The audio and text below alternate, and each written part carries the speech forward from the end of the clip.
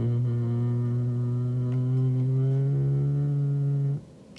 初めて鏡を見た時はうん。それが自分の姿と信じられず必死に鏡の裏を探す鴈治郎くんでした。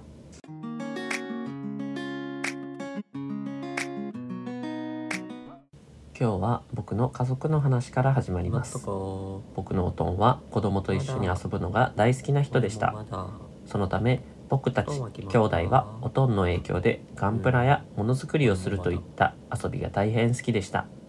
ちなみにおとんは当時おかんから大きな子供うちは三兄弟と言われてました。ある日おとんがゲージとは別に鴈治郎の寝床鴈治郎ハウスを作ろうと言い出しました。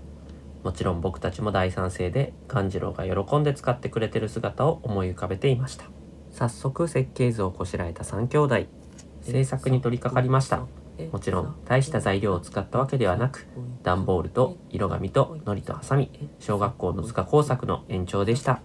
そうして出来上がった鴈治郎ハウスドキドキワクワク。鴈治郎くんの反応はというと